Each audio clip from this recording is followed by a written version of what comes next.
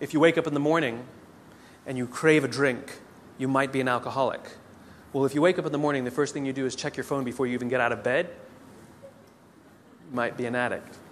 If you walk from room to room in your own apartment holding your telephone,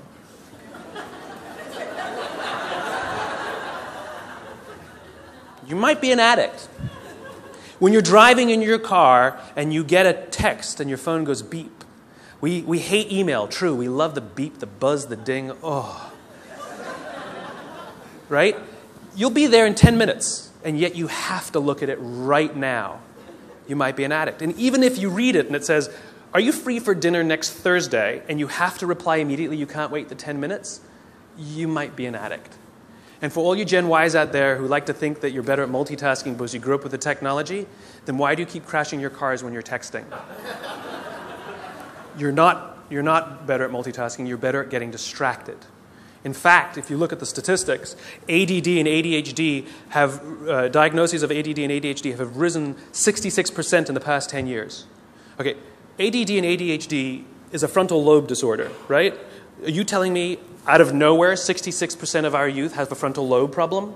Where did that come from? No, it's a misdiagnosis, right? What, what, are the, what are the symptoms of a dopamine addiction to technology?